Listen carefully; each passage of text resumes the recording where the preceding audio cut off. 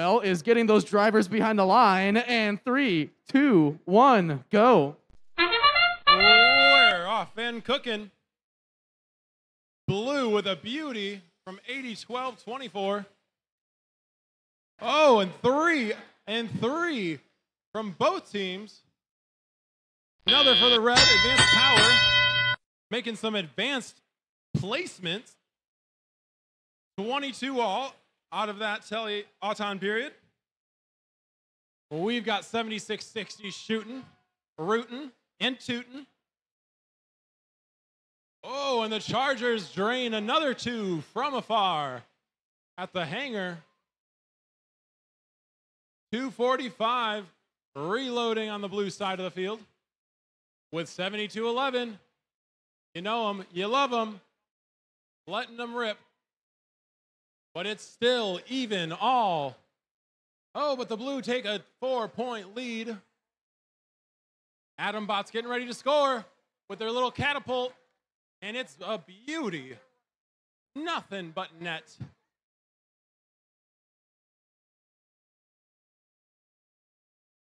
We've got 72 11 with more shots fired. One, two. Talk about a hab it of excellence.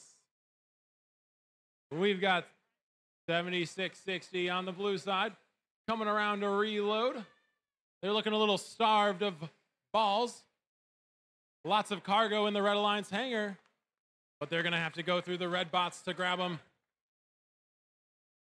815 searching wildly, but it appears that the Red Alliance cargo is on the blue side of the field.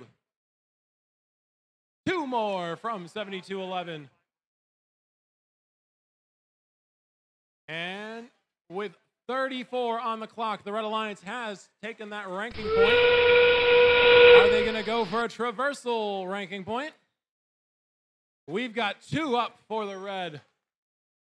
Blue still working their magic on the tarmac.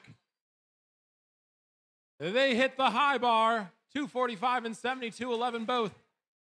And 7211 gets their traversal, 10 seconds to go. 245 does the same. That's going to be a four ranking point match if it all holds as is. You love to see it. Of terror over the Blue Alliance.